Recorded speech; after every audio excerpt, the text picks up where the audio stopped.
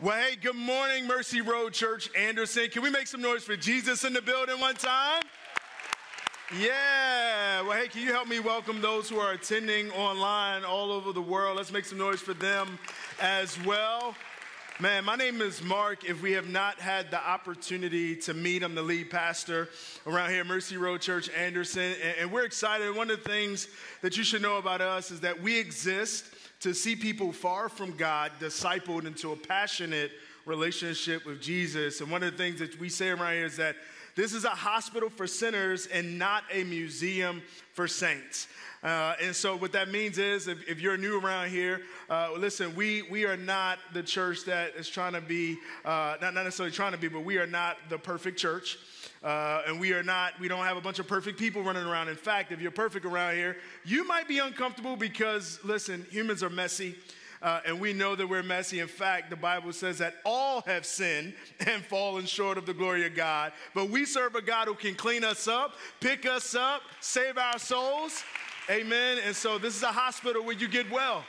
Um, and so we're excited that you're here today. If you're a first time guest, we ask that you uh, fill out a Connect card. Let us know uh, you're here, and we'd love to be able to connect with you. You could do that w- whether it's a physical Connect card or a digital Connect card on the back of the seat in front of you. And uh, just another announcement uh, before I jump in uh, we won't have communion this Sunday, it's actually next Sunday. Uh, so come back, invite your family. For those of you who grew up Catholic, uh, you can grab it on the way out. How's that?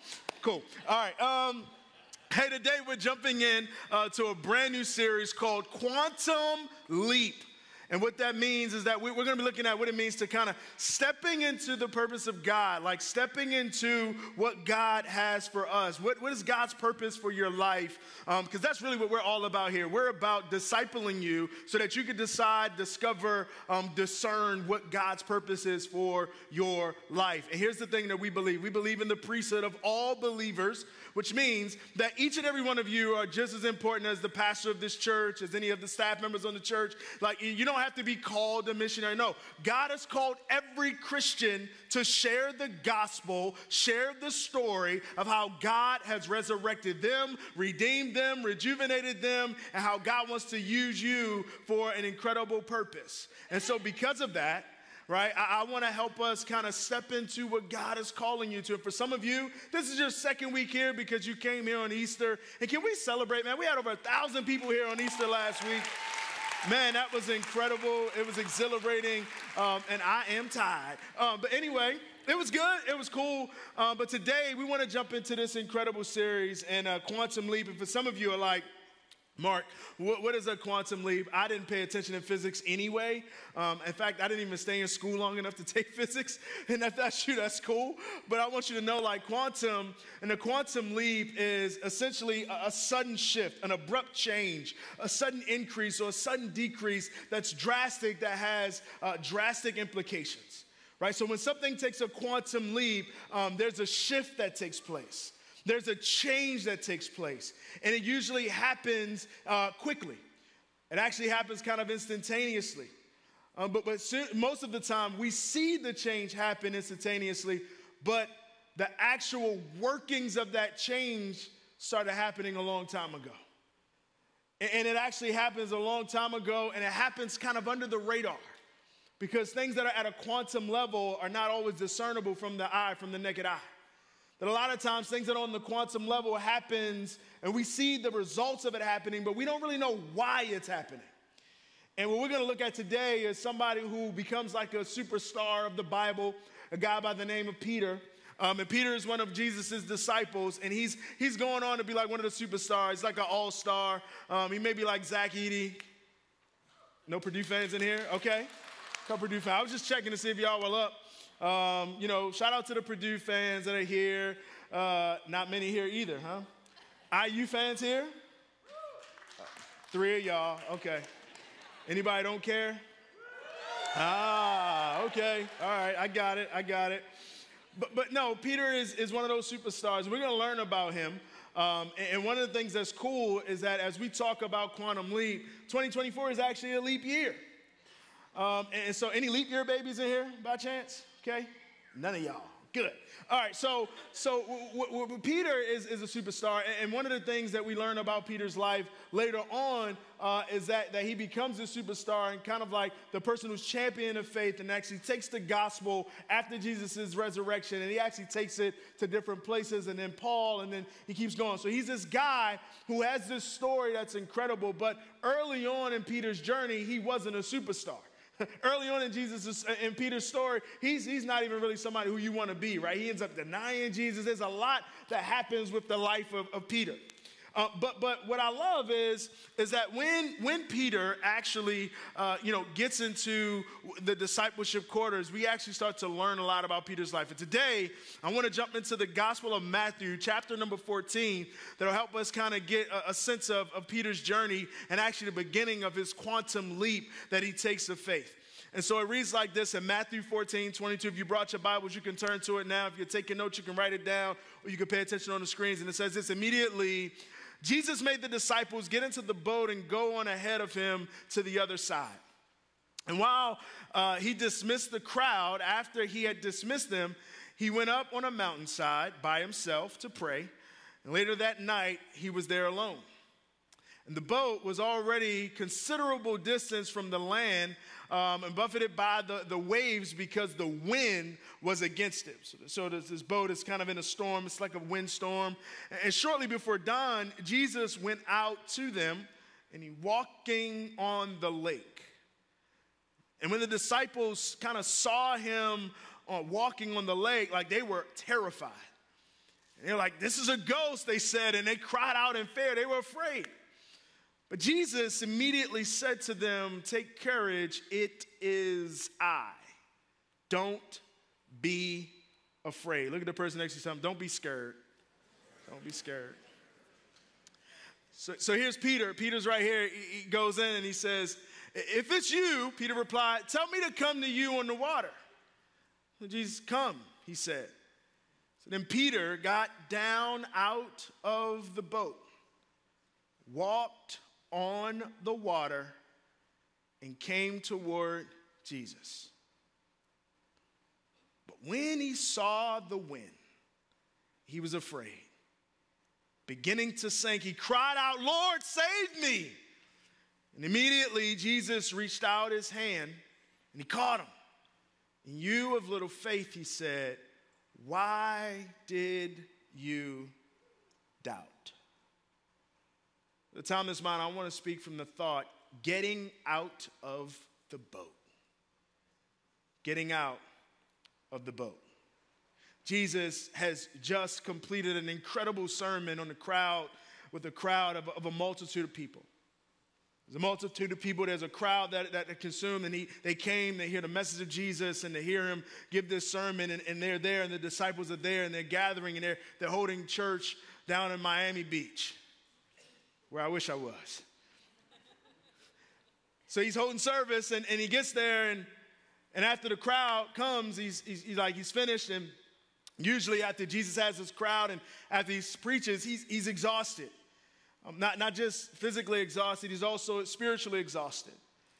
And, and many, and if anybody is a preacher here, you know, like after you pour out for God's people, like you're exhausted. You, you, don't have, you don't have a full tank. And so what he does is he usually goes and he retreats to a mountaintop and he retreats. He gets away from the crowd so that he could go and recharge his battery. He can go and get rejuvenated, get refilled by God. And, and, and, and so this is normal, but this time he actually tells the disciples, hey, I'm going to go up to the mountain. Y'all go ahead and get in the boat and, and, i and get on the other side, and, and I'll, I'll meet you later. And uh, this is kind of where this story picks up because the disciples are now on the boat, they're in a lake, they're going to the other side.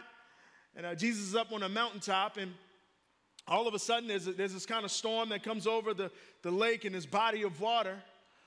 And they see this figure in the middle of the night walking on this water, walking on this lake, and they, they don't know who it is. And they start to spread like, dude, this is a ghost because, hey, they've seen him give sight to the blind. They've seen him make crippled people walk. They've seen him do all of these things, raise people from the dead, but they had never seen him walk on the water. So this is the first time that they had seen Jesus in this form. They didn't even know it was him. And they're like, dude, this is a ghost. This is crazy. This is wild. And before you judge them, you probably would have did the same thing.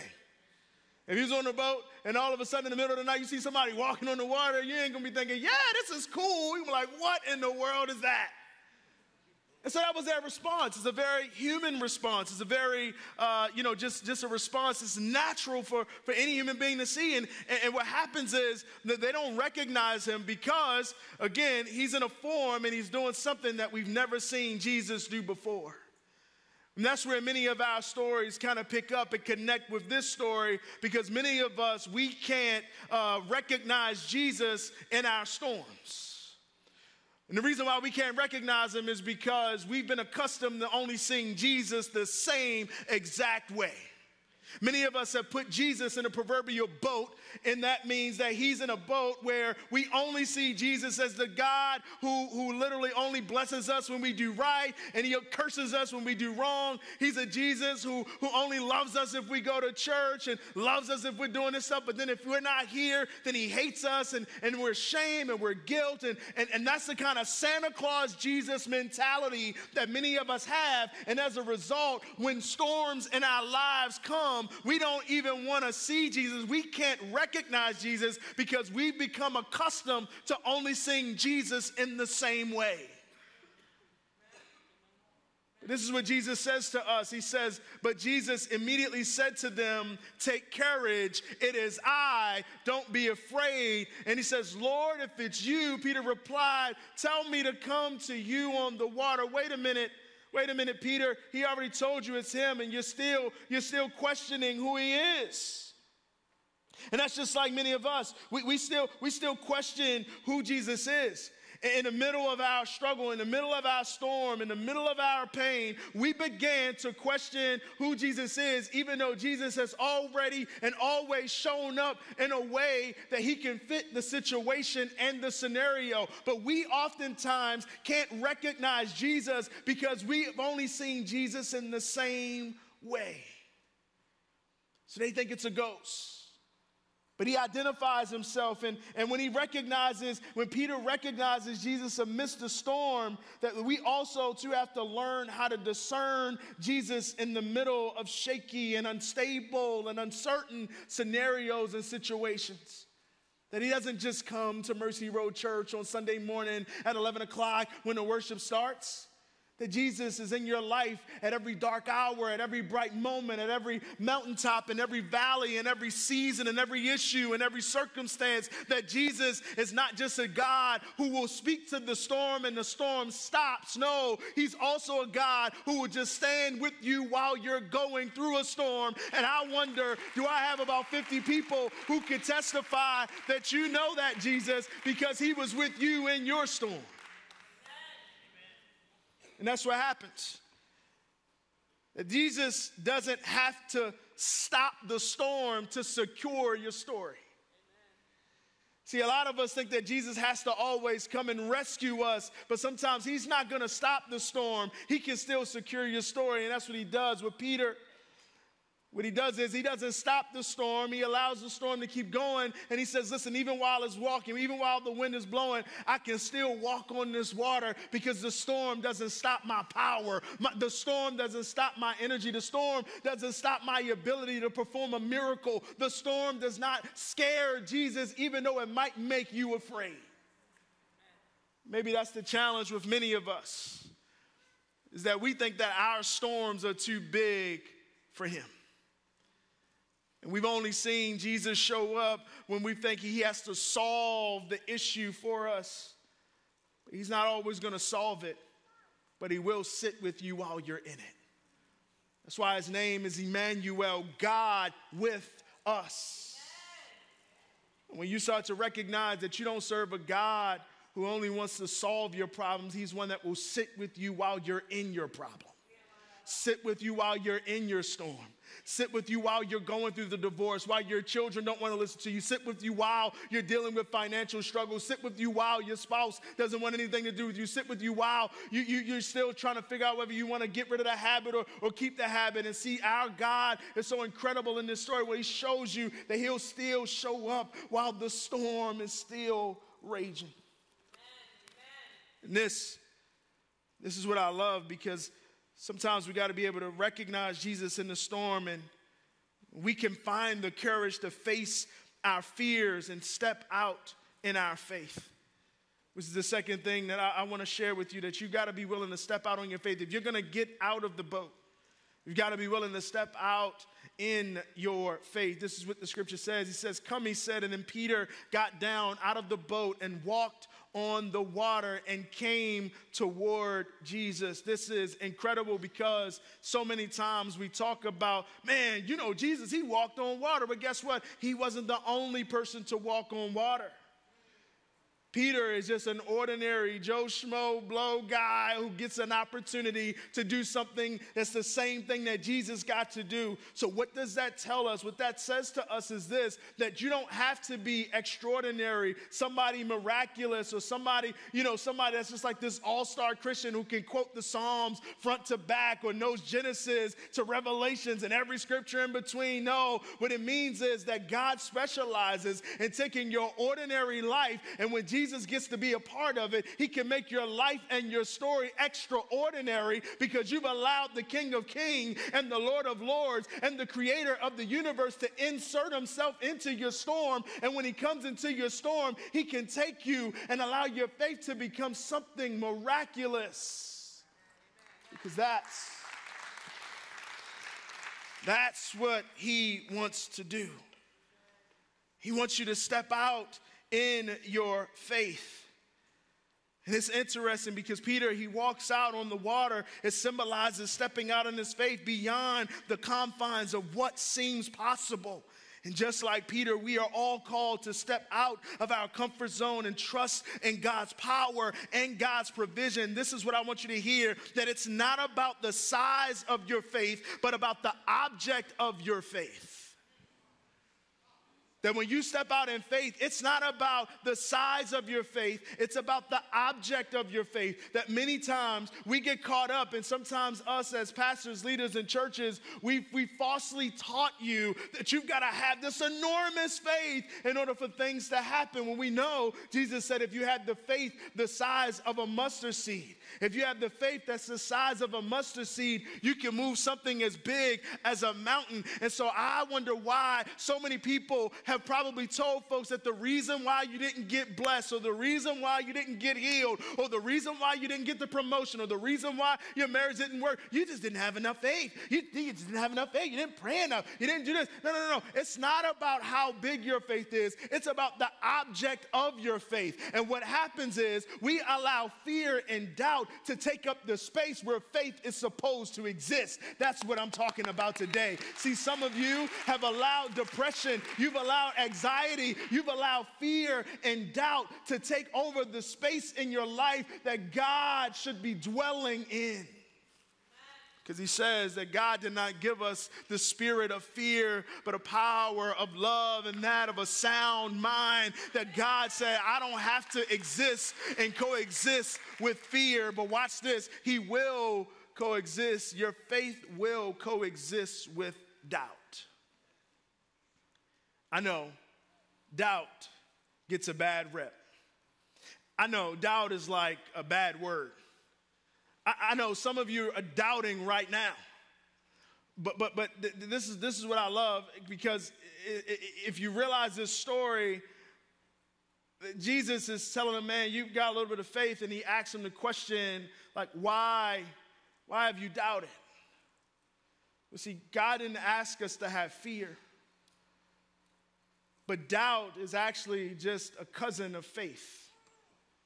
The doubt is actually the mechanism and a healthy one to stoke your curiosity about what God might or might not do. The doubt is actually something that can be utilized as, as, as a catalyst of sorts to create a quantum leap in your faith. See, because this story, as I started, is about Peter, and Peter ends up becoming one of the fathers of the faith. But see, that leap of faith for Peter does not happen without him walking on water and then finding himself drowning on the same water that he was just walking on. Here's what the passage says But when he saw the wind, he was afraid. Let me pause there just to help somebody realize like, wait a minute, how can you see the wind? You can't. We can see objects that are affected by the wind, but can you see the wind? And so if it says he saw the wind, what it means is, is that he started taking something that was invisible and making it visible, and he lost focus on the object of his faith. And sometimes life happens and we start to see things that are not there to begin with. We start to believe things that God never told us to believe in the first place. We start to, uh, to absorb things that God never told us to absorb in the first place. And some of you have been been dragging through life, dreading through life, because you have been seeing the wind instead of seeing the one who's been enabling you to walk in the middle of the storm to begin with. But when he saw the wind, he was afraid and he began to sink and he began to drown and he began to feel like the world was collapsing on him. Some of you right now feel like the world is crashing in and you're taking on water and you don't know why and you don't know when and you don't know how. And it's okay because doubt might can paralyze you, but see, don't let it paralyze you. Let it pause you.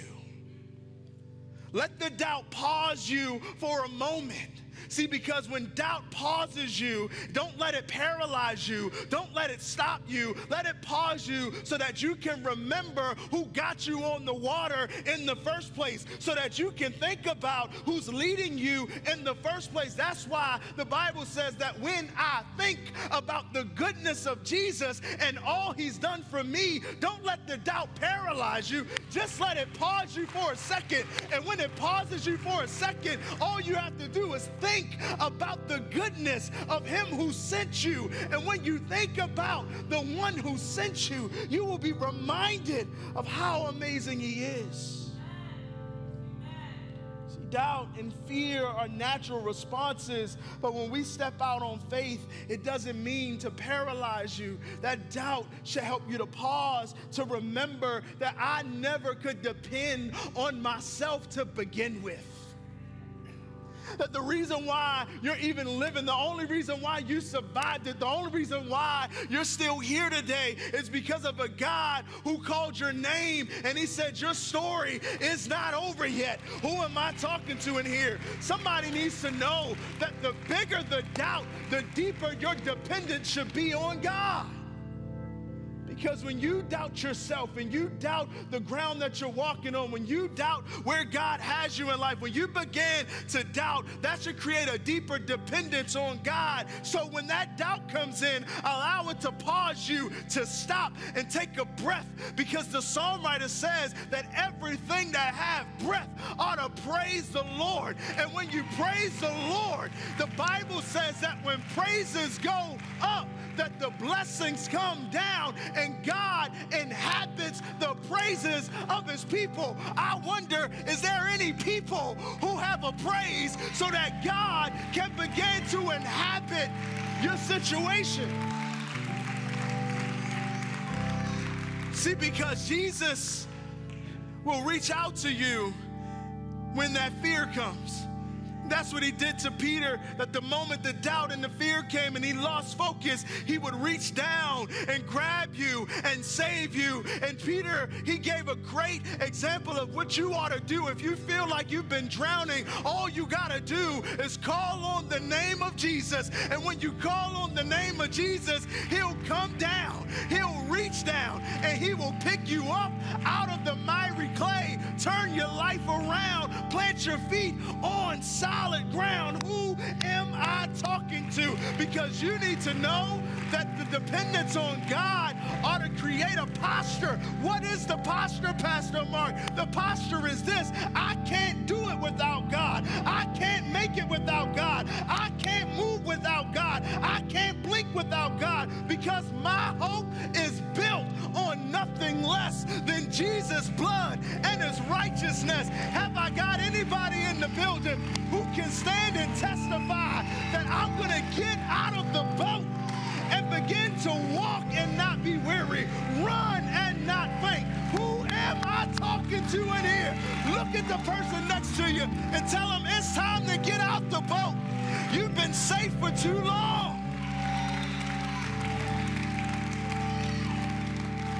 You've been safe for too long.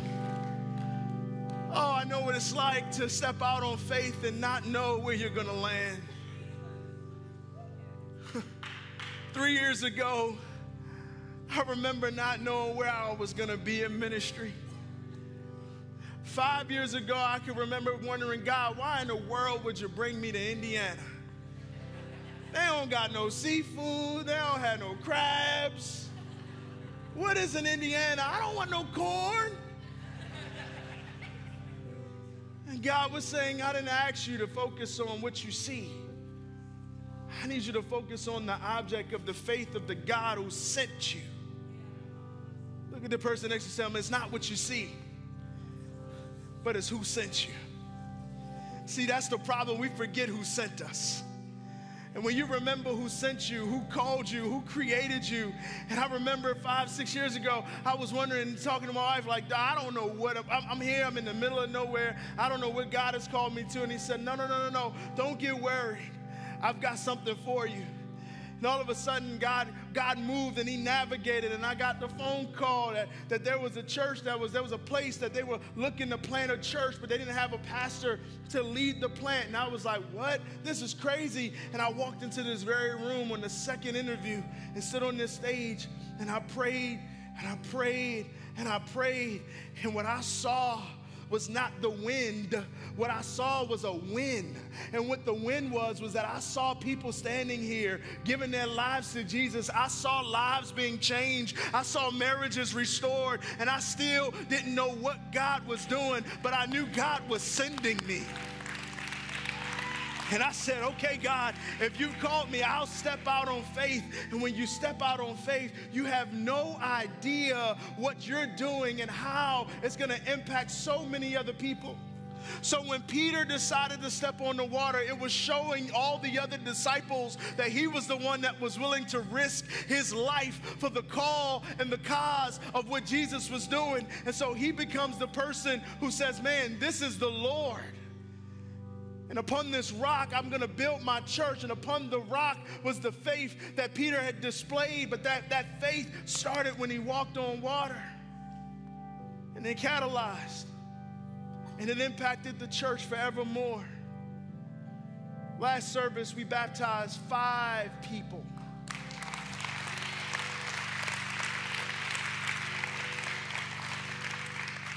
We baptized five people.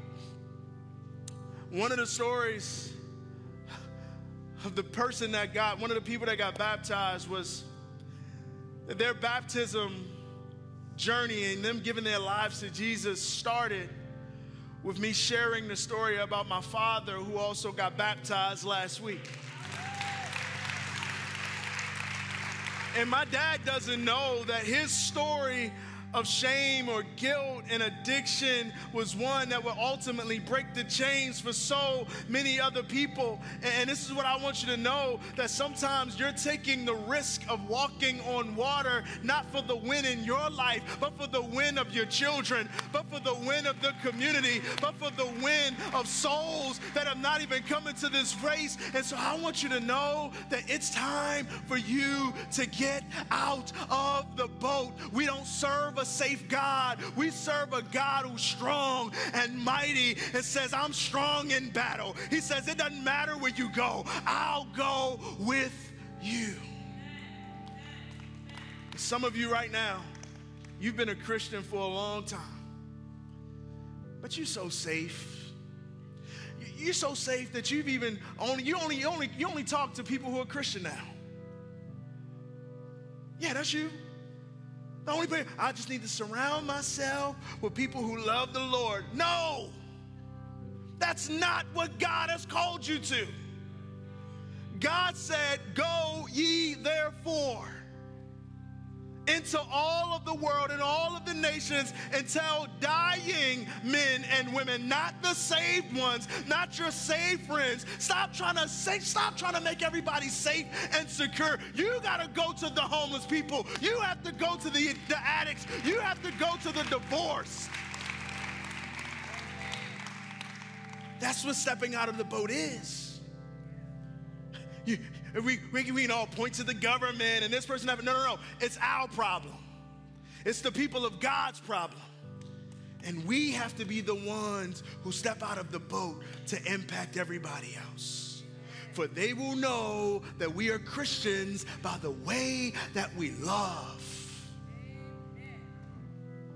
So, this is the day that the Lord has made.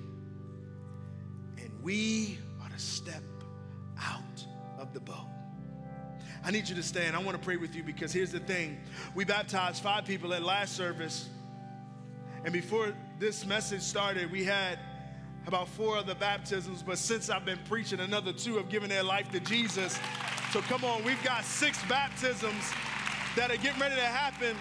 Come on, I didn't say Purdue was going to win. I said we got life change happening. Y'all ought to make some noise for that.